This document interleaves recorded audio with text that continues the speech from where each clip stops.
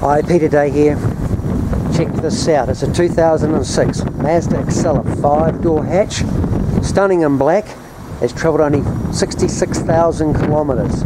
Now it comes with AA mileage verification to back that odometer reading up as being 100% correct. Powered by a 1500cc variable valve timing engine. Now this engine has a cam chain, so no cam belt to worry about, and it goes for a Tiptronic automatic transmission. Great performance and excellent fuel economy. Has a four and a half star fuel rating, and that equates to six litres per 100 k's travel. Now it's got the factory side skirt along the sill there, and also little bumper extensions front and rear. Got the rear spoiler on the back hatch, and it's got the tinted windows in the back for privacy.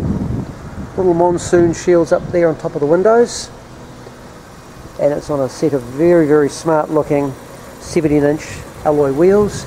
And as you can see good rubber there. Got the front bumper extension with the little spotlights there. Sets it off very nicely. Very very clean and tidy the body of this car. Has the safety features of twin front SRS airbags and ABS anti-locking brakes we'll have a look at the trim inside. Now it's just as tidy on the inside as it is on the out. Excuse the sun. A bit of shadow there. As you can see very very clean and tidy. Now this car is a non-smoker's car so there's no smoky smells no cigarette burns. In fact there's the ashtray and it's never been used. Same with the cigarette lighter never been used.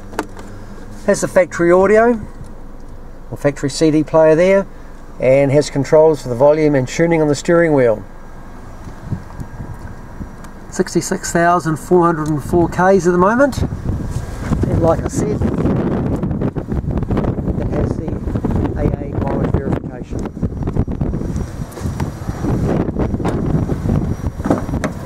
Back seats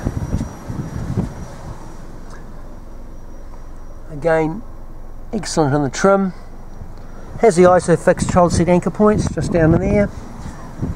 And it's got the full set of factory mats throughout.